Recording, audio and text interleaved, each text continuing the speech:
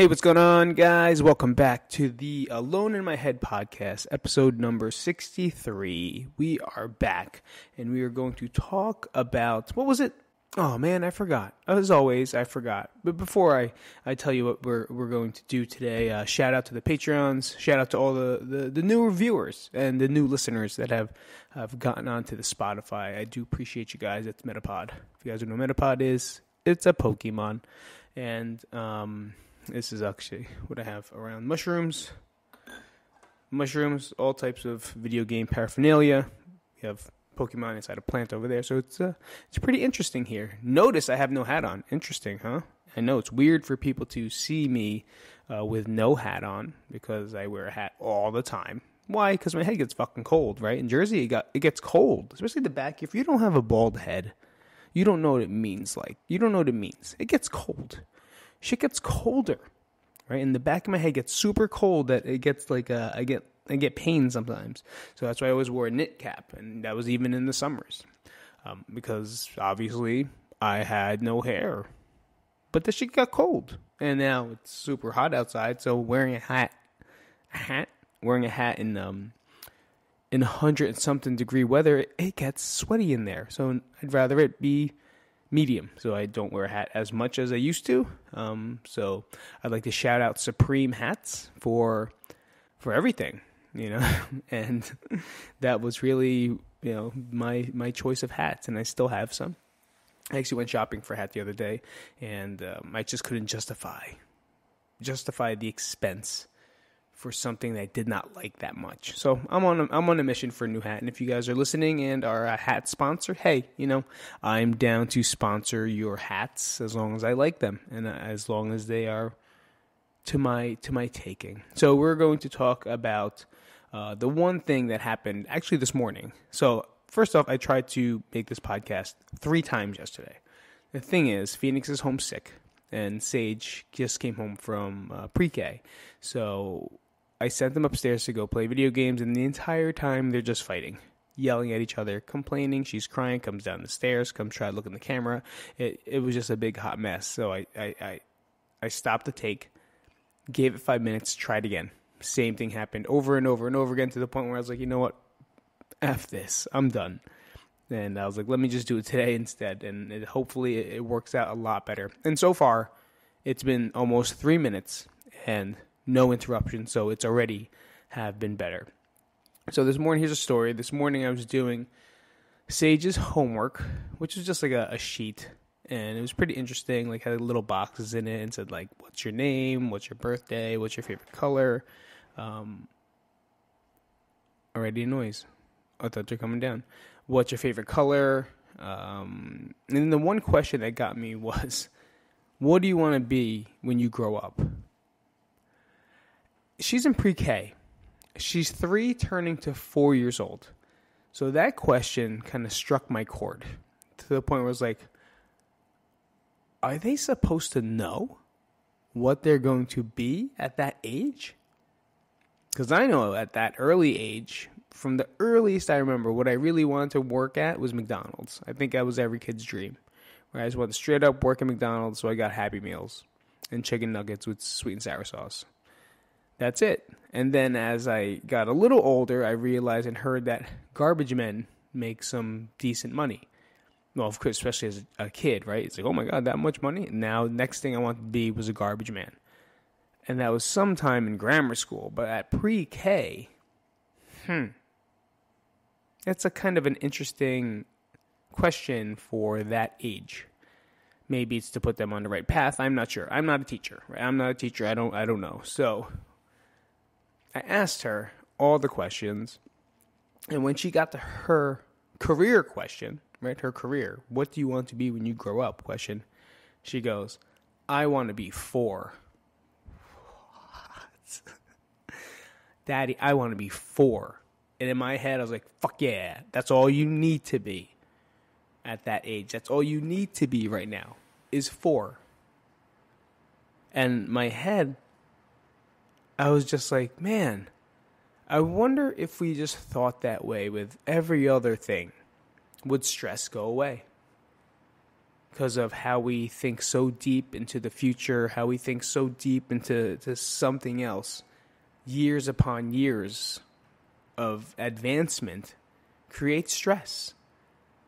I know most people's stress is, you know, created by money. Like, how am I going to pay for this? How are we going to do this? How are we going to hold this household up? How are we going to pay for the kids' college tuitions? How are we going to pay for our grocery bills? I, I, I know. Usually, that's the main cause of everyone's stress, no matter how much money you make.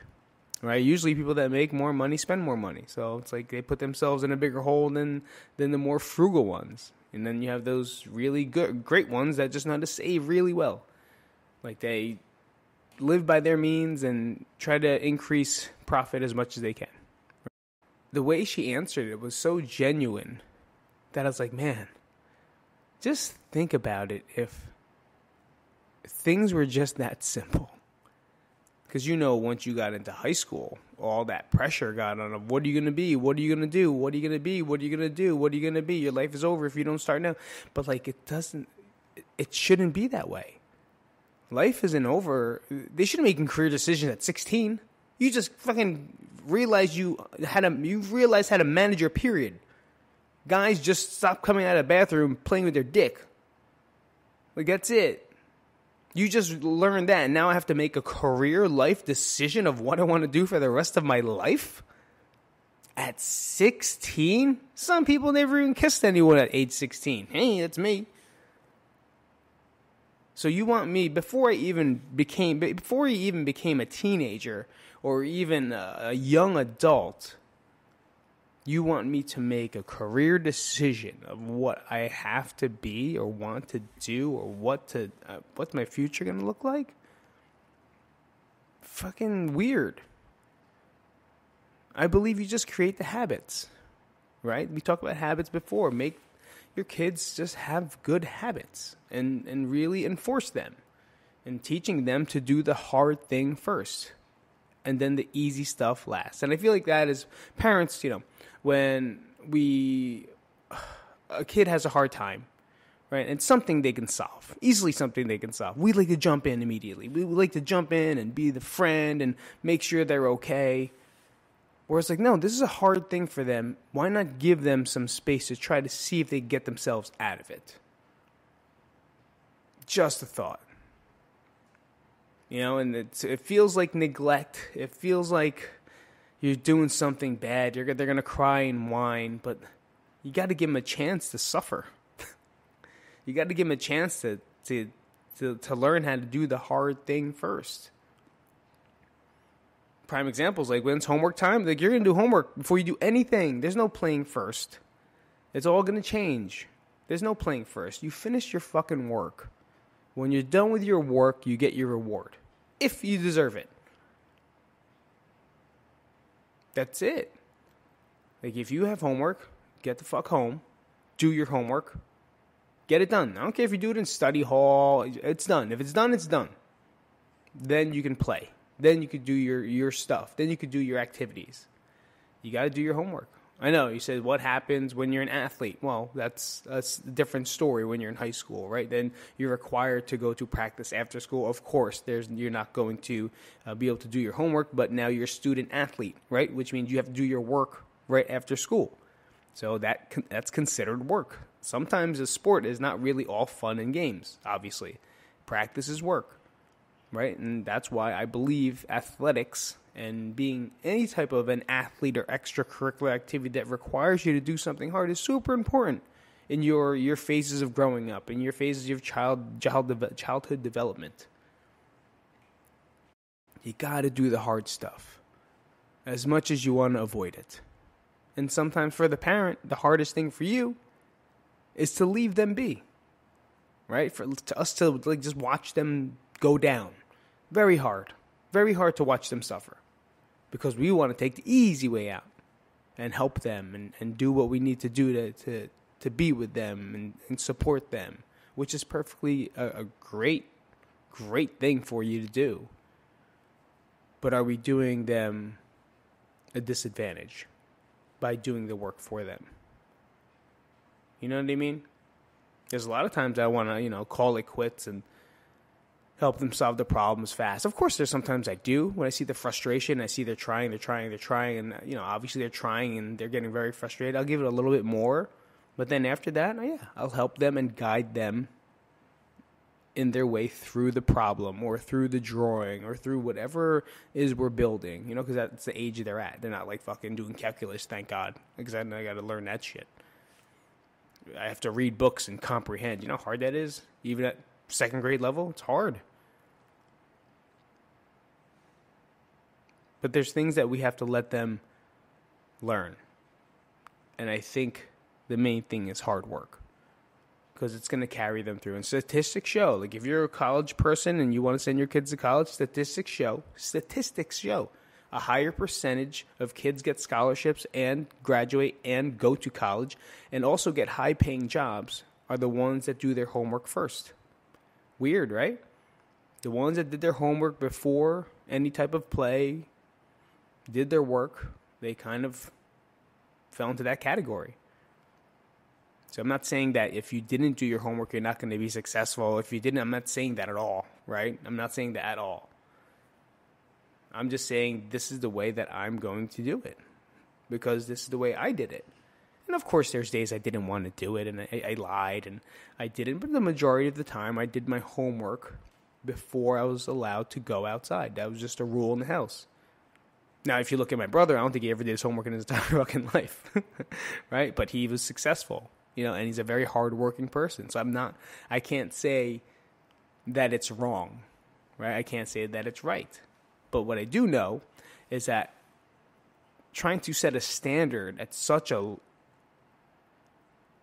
low level or such a low grade or young age is kind of tough because then adds that extra pressure. Now they have to do things and they want to be things and they have to do this stuff because this is what I said I was going to do, and now I'm going to do that. God, um, I mean, honestly, right now I would. I, I see McDonald's applications. I would work at McDonald's, but I can't because I don't have the time. I actually thought about it. I did this QR code right when I was looking for work because there's nothing to do. I was like, oh shit, McDonald's hires. Let me click it, and let's see, you get paid eleven dollars an hour. It's not not bad. It would have been a job because it's there right? It's some money on the table, but the time requirements doesn't work for me. I go to a different place. Tropical Cafe is like a smoothie place. They're hiring too. QR code, click it, just check it out. And then people say there's no work out there. There's work everywhere. The thing is, our egos don't want to do the work because we want a higher payout or we think we deserve more. You deserve nothing in life. We deserve shit. We just live. And that's it. Just because you went to college doesn't mean you deserve anything. I went to college. I did my stuff. I nothing. I deserve shit. But I'll work for whatever it is I need to get. And I feel like that's the the attitude you have to go forward with. Doesn't matter what you do, what you did, what you're going for. You got to fucking work. You got to work hard for it.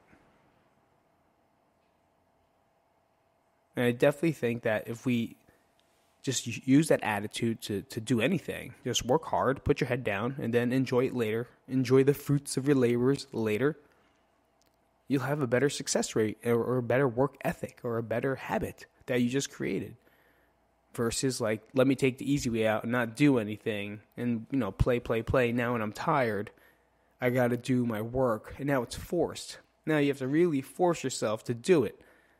Because now you don't have that you don't have that gratification anymore of earning something after you did the hard work. You already got your gratification, so fuck it. Why do I have to do homework? You know?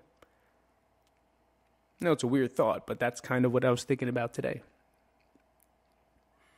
And that's my thing, for sure. Is let's not stress out so much and look at the things you're stressing out about and what are the things that you can do presently in this moment to make it better. I just think of when Sage goes, What do you want to do when you grow up? I want to be four. So simple. The answer is right there. And it wasn't an answer that I expected, but that answer made so much more sense than the answer that I thought or predicted that she might have made, which was like Mickey, Minnie Mouse, or some shit like that, like an object. All right, hold on a second. I'll be right back. And we are back here. I'd like to shout out a sponsor. We have Dynamic PT in Rutherford, New Jersey. If you guys are any type of pain or recovery or hurt or post surgery or your back hurts or knee hurts, go check them out.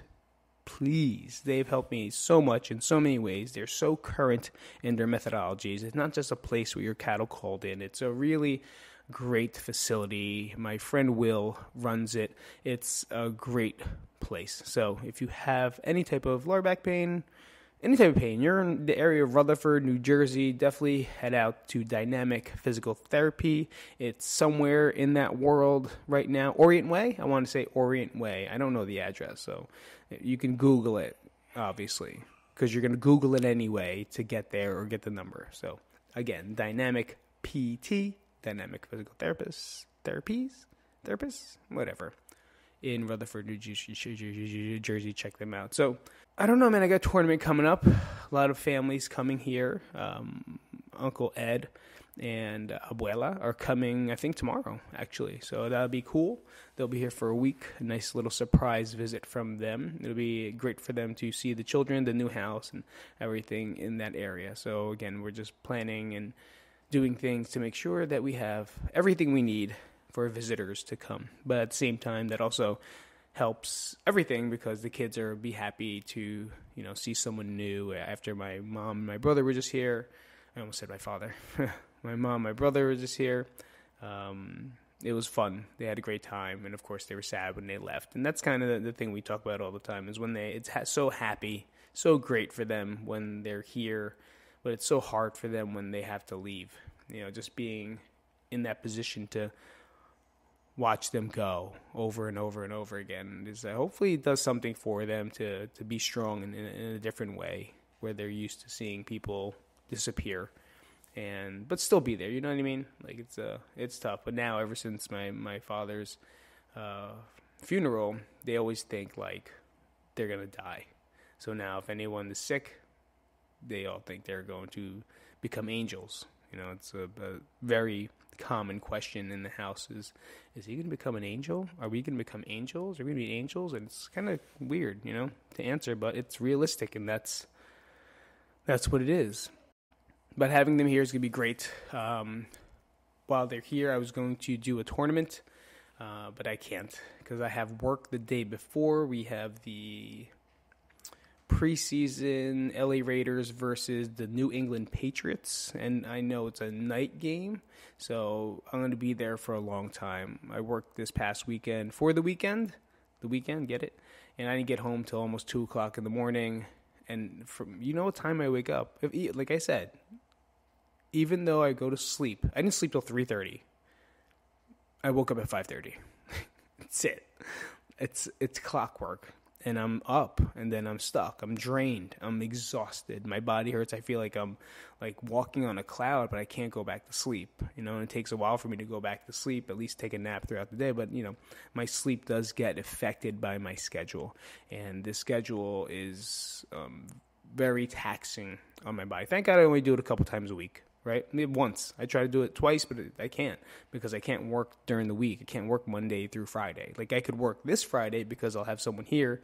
Um, Abuelo will be here, so I don't have to really worry about the kids. I just have to pick up Sage and make sure we get everyone from school, right?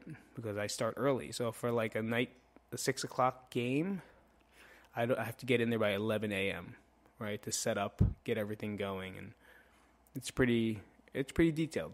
But at the same time, when it's like a concert or late night, ugh, it's so late. So late. And you work so hard. I work so hard. I'd like to say that I wish I could say that it was an easy gig, but it's not. It's fucking hard, hard work. Like, I guess it depends on the bar or the section that you're placed in. But so far, for the last times I've been there, I've walked at least 12 miles at least 12 miles a night, oh, a day, pretty much. I work about 12 to 15 hours. So it's cool though. You know, it's hard work, get it done, but I don't take it home. And that's it. Just load it up, make your money, and fucking now I could, you know, buy a Slurpee or a seltzer water or some shit.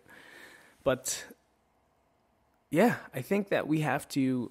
The, the main message that I want to get into it is really let's simplify our stresses. Right? As hard as that sounds, simplify them. The one thing that you can do is meditate. Meditation has helped me in every single way possible. And if you listen to anyone, anyone that has any type of success in anything, they meditate. Right? They take their time to be alone and, and quiet and in their heads. They, they have to be in their heads. Yes, of course. It's like I can't meditate because I can't stop thinking. No shit. You're not going to stop thinking, but it's a time that helps you filter out the thoughts and just keeps going and you learn how to let go of thoughts and realize that they are just thoughts. But a lot of that clutter sometimes never gets a chance to be released. And meditation is key. Even 10 minutes, guys. I don't sit there for an hour and cross my legs and shit. No, I lay down on the couch. I find a guided meditate guided meditative I can't even talk. Meditative uh, video and they play it. It's got some sounds behind it. It tells you what to do, where to focus and super simple. The thing is, most of us don't want to do it. Just like we talked about last time, stretching. No one wants to do it. I do it every day now. Every single day. Has my stretching become better? My flexibility? Not so much, honestly. Not so much, which means I might have to do more mobility work on top of long long form stretching. So, you know, I'm trying to find my thing, but I am able to work out more. I am semi less pain depending on what I eat but for the most part, you know, let's try to keep things simple. Keep it as simple as Sage. What do you want to be when you grow up? I want to be four. That's just the next step. You know, that's all she thought about. Her next two weeks. In two weeks, she'll be four. And that's it. And probably the, the answer after that is I want to be five. So I want to kind of, I kind of want to keep that going. It made so much sense. That like what's the thing that we can work on that we're really focused on, super focused on, or hyper focused on, that we can't let it go. And we make it such a big deal that maybe it's not. Maybe it is just being four. Maybe it is just taking the next step. Maybe it, it is just letting it go. I'm not sure. So, again, this was just a thought I had inside my head because this podcast is called Alone in My Head. So, at least I can talk about it in front of you guys. And I'm glad you guys came out today. I will see you guys next week for episode number 64. What we're going to talk about next week is I have no fucking idea. But we're going to talk about something. All right. I'll see you guys later. Thank you again. Again. And, and I'll see you next week.